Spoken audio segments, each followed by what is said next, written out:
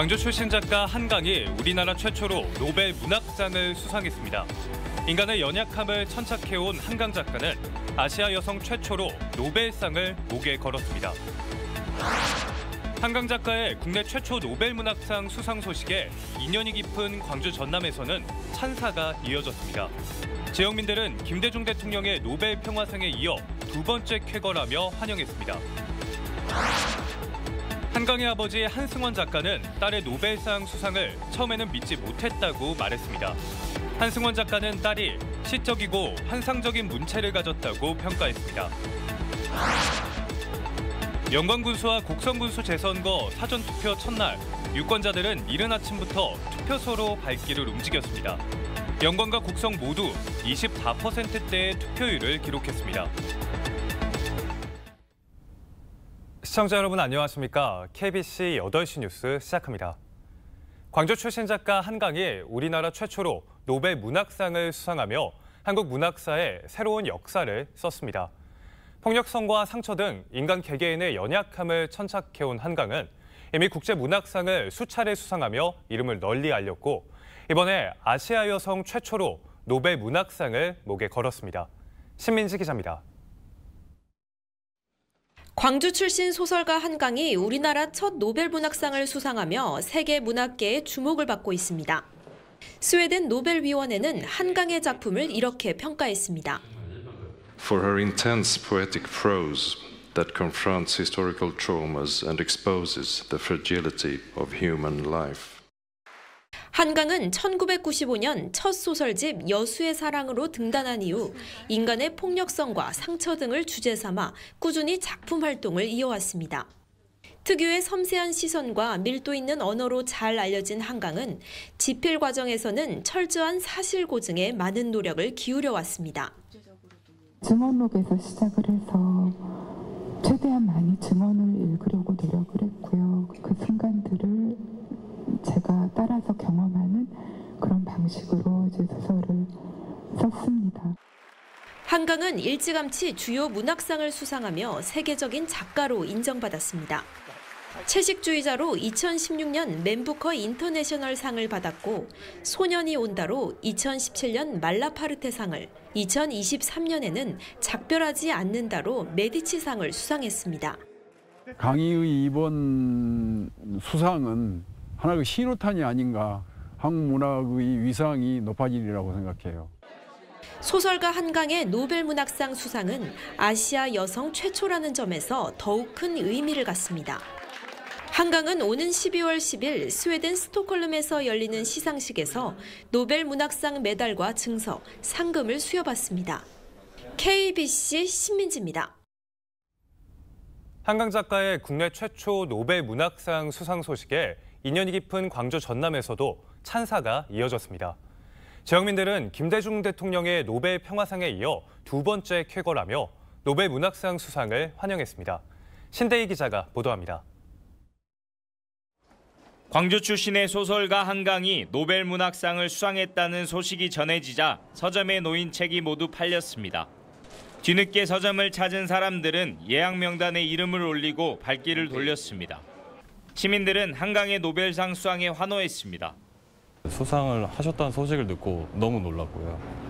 그리고 이제 광주 출신이시니까 또 여기 사는 지역민으로서 좀 자랑스럽기도 하고 어제부터 그 다른 고객들도 이제 책이 있냐 이렇게 문의가 많이 와서 지역 정치인들도 고 김대중 전 대통령의 노벨 평화상에 이은 두 번째 쾌거라며 축하의 글을 남겼습니다. 1980년 민주주의를 위해 헌신한 광주의 정치적으로 빚을 졌고 이번 노벨 문학상 수상으로 문학적으로도 빚지게 됐다는 평가도 나왔습니다. 한강 작가가 5.18 민주화 운동을 다룬 장편 소설 소년이 온다로 역사적 상처를 보듬어 줬기 때문입니다. 한강 작가가 광주를 자신의 문학의 핵심에 놓았다라는 점 때문에 그리고 그것이 세계사적인 응답을 받았다라는 역사에서 소수자로 배제된 이들에게 언어와 목소리를 되돌려줌으로써 노벨 문학상 수상으로 한국 문학이 세계 문학계의 주목을 받고 더욱 발전하는 계기가 되기를 바라는 목소리도 나왔습니다. 광주 항쟁 같은 그런 고통도 어, 재평가받는 문학을 통해서 재평가받는 그런 기회가 될 겁니다. 우리 지역의 풍요로운 그 문학적 토양 위에 이번에 한강을 통해서 세계적 문학이 꽃피우게 되는 것이거든요. 이제 우리 지역을 중심으로 새로운 문학의 시대를 열어가야 되거든요. 광주 전남 지역민들은 한강 작가가 인류의 보편적 가치를 다룬 작품을 꾸준히 펴내 더 큰 울림을 주기를 응원하고 있습니다. KBC 신대입니다.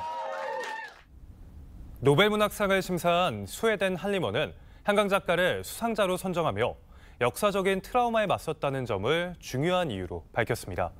5.18 광주 민주화운동과 제주 4.3 사건과 같은 시대적인 비극을 다룬 작품을 통해 국가폭력의 트라우마에 맞서는 인간의 모습을 독창적으로 그려냈다는 평가입니다. 김재현 기자의 보도입니다. 2014년작 소년이 온다를 통해 한 작가는 어릴 적 자신이 성장했던 광주의 아픔을 다뤘습니다. 5.18 민주화 운동을 사회적 시선이 아닌 개인의 고통과 내면의 관점에서 바라보며 트라우마가 세대를 넘어 계승되는 과정을 담았습니다. 앞서 가부장적 폭력에 대한 비판을 담은 2007년작 채식주의자를 통해 맨부커상을 수상하며 주목받았던 한 작가는 소년이 온다에서 국가폭력을 증언했습니다. 사진과 영상을 통해 학살의 현장을 접하고 증언록을 탐독하며 국가폭력의 모습을 그대로 그려냈습니다. 증언들을 읽으면서 정말 일어났던 그대로의 어떤 파편들을 어, 음, 함께 그 증언 속에서 경험하고 있다는 그런 느낌을 받았었어요. 2021년작 작별하지 않는다에서는 다시 한번 제주 4.3 사건을 배경으로 학살의 트라우마 속에 살아가는 인물들의 모습을 주인공의 시선으로 이야기했습니다. 고통을 문학적 형상화를 통해서 승화시켰고 그 간접적으로는 그걸 치유하는데 예, 그 상처를 치유하는데 큰 도움을 주는 그런 작품이라고 할 수가 있겠죠. 한 작가는 문학적 탐구가 인간의 고통을 마주하는 하나의 과정이라고 말합니다. 역사 속에 있는 인간을 들여다본다는 그런 행위 자체는 폭력의 반대편에 서겠다는 어떤 맹세이기도 한 것 같아요. 역사적 트라우마와 인간 삶의 연약함을 여실히 드러낸 한 작가의 작품들이 세계인들의 보편적 이해와 맞닿아 있다는 점이 이번 수상으로 증명되면서 한국 문학의 지평이 더욱 넓어졌다는 평가입니다. KBC 김재현입니다. 딸의 노벨문학상 수상 소식은 아버지 한승원 작가에게도 큰 선물이 됐는데요. 한승원 작가는 딸의 노벨문학상 수상 소식이 처음에는 가짜뉴스인 줄 알았다고 말했습니다. 박성호 기자의 보도입니다. 소설가 한강의 아버지인 한승원 작가는 장흥군 해산토굴 앞에서 가진 기자회견에서 딸의 노벨상 수상 소식을 처음에는 믿지 못했다고 말했습니다. 아, 안, 안 믿었어요. 이거 당신 가짜 뉴스에 속은 거 아니야. 근데 그런 일이 진짜로 있었대요. 한강은 어릴 적부터 상상력이 풍부했고 광주의 역사적 배경과 시골이 주는 정서 등이 소년이 온다 등의 작품을 쓰게 만든 것 같다고 설명했습니다. 상상할 수도 없는 그런 비극적인 사진들을 보고 충격을 받았대요. 그가 그 아이가 한 말은. 그러니까 그것이 하나의 동기가 돼가지고 온다를 쓰지 않았나. 또 역사적 사실 등 리얼리즘을 바탕으로 하면서도 시적이고 환상적인 표현으로 이야기를 풀어내는 능력을 가지고 있다고 평가했습니다. 신화적인 요소, 환상적인 리얼리즘의 요소, 그것들하고 가미돼서 그 강이라는 작가는 굉장히 그 문학을 더 아름답게 쓴 거예요. 이런 한강의 작품을 국제적으로 인정받을 수 있도록 노력해준 번역가와 이를 알아봐준 스웨덴 한림원에도 감사의 뜻을 전했습니다. 작가 한승원은 딸인 소설가 한강에게 무엇보다 건강을 잘 챙겨달라며 아버지로서 따뜻한 말을 남겼습니다. 마음이 여려서 큰 일을 당하면 잠을 못 자고 고민하고 그래요. 어젯밤에도 3시에나 잠을 잤대요. 그러니까 나는 그 항상 걱정하는 게 몸이 건강해야 소설을 끝까지 쓸 수 있죠.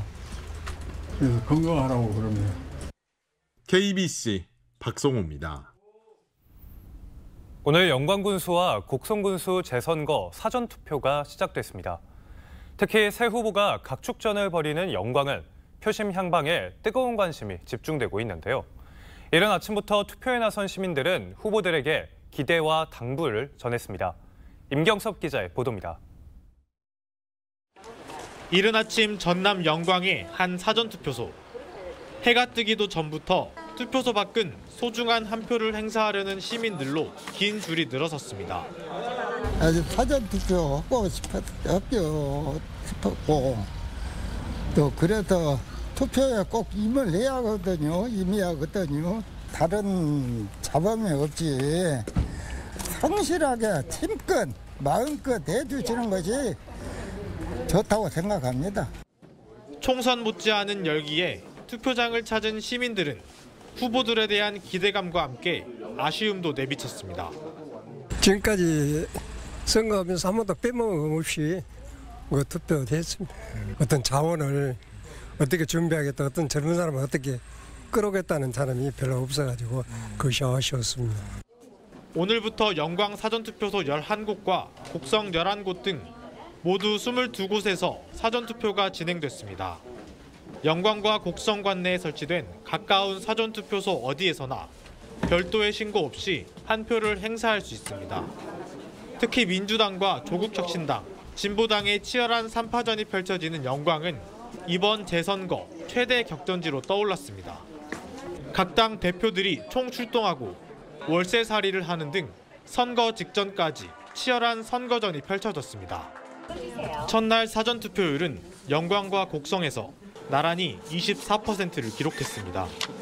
이틀째 사전투표는 내일 아침 6시부터 저녁 6시까지 진행됩니다. KBC 임경섭입니다. 전국 최대 규모의 파크 골프장이 화순에서 문을 열었습니다. 18만 3천 제곱미터의 87홀 규모로 주변의 풍광과 잘 어울리고 사용료도 저렴해 이용자들이 몰릴 것으로 예상됩니다. 최영석 기자가 그 현장을 다녀왔습니다. 시원하게 펼쳐진 잔디밭에 어르신들이 골프를 치고 있습니다. 최근 인기를 끌고 있는 파크 골프입니다. 지난 2003년 처음 도입된 파크 골프는 단 한 개의 골프채로 좁은 장소에서도 가능한 스포츠로 누구나 쉽게 배울 수 있는 장점이 있습니다. 특히 나이 먹은 어르신들도 쉽게 할 수 있어 게이트볼과 함께 전국에 많은 동호회가 만들어졌습니다. 이에 전남 화순군이 63억을 들여 전국 최대 규모의 파크 골프장을 개장했습니다. 화순군이 개장한 파크 골프장은 18만 3천 제곱미터 부지에 87홀로 만들어졌으며 운동과 함께 아름다운 화순 경관을 볼 수 있습니다. 파크 골프가 어, 생활체육의 대세가 됐습니다. 앞으로 많은 동호인들 그리고 국민들이 파크 골프를 통해서 건강을 유지할 수 있는 그런 시기가 됐기 때문에 화순 파크 골프장을 87호이기 때문에 많은 분들이 와서 잘 활용했으면 좋겠고요.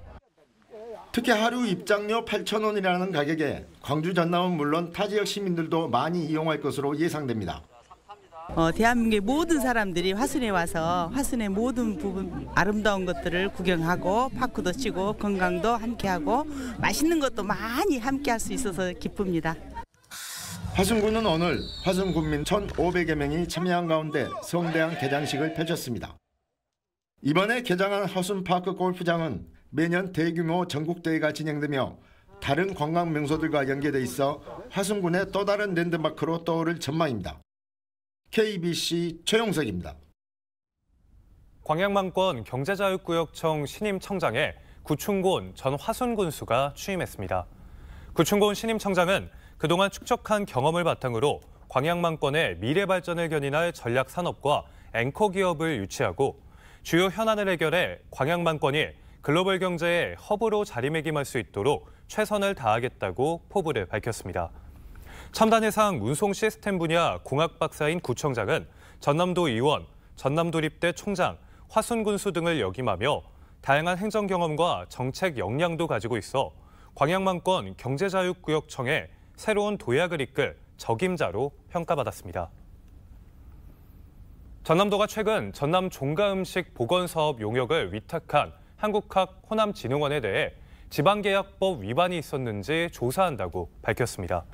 한국학 호남진흥원은 최근 전남 종가음식 보건 사업으로 공개 채용된 연구원들끼리 서로 상납을 요구하는 행위가 밝혀져 무리를 빚고 있습니다. 전남도는 한국학 호남진흥원이 실제 지방계약법을 위반했는지 다른 용역 사업에도 비슷한 사례가 있는지 조사해 감사를 실시하는 등 시정 조치하겠다고 밝혔습니다.